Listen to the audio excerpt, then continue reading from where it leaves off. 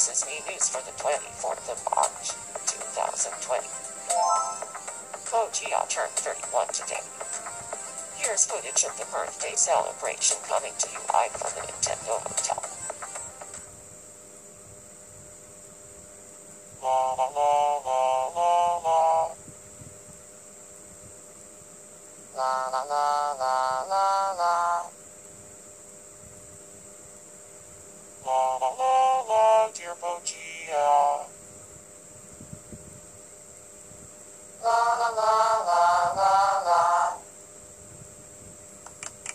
Congrats.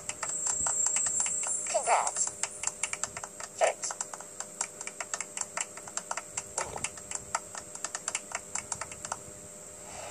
We asked some islanders for their thoughts on the matter. I'm glad everyone remembered.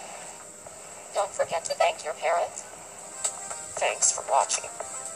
For your News for March 24, this is Lee Red, signing off.